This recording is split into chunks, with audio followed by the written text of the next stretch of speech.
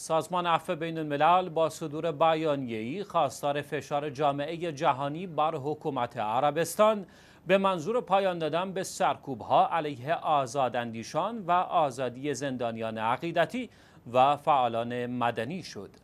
در بیانیه این سازمان حقوق بشری آمده است جامعه جهانی نباید از اقدامات این کشور در سرکوب فعالان مدنی چشم پوشی کند.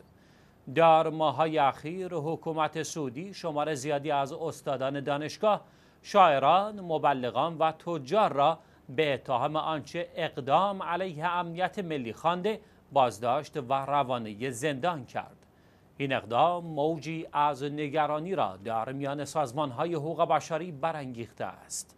بیانیه عفو بین الملل ساعتی پس از آن صادر شد که حکومت عربستان با فراخانی سفیر خود از کانادا به سفیر این کشور در ریاض 24 ساعت فرصت داد تا خاک این کشور را ترک کند.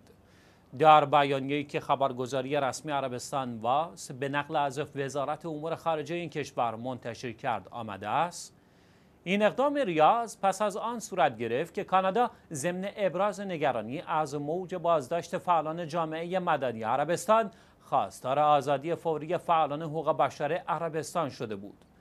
عربستان در پی این موضع گیری دولت کانادا اعلام کرده کلیه تعاملات تجاری و سرمایه گذاری جدید خود با این کشور را به حالت تعلیق در خواهد آورد.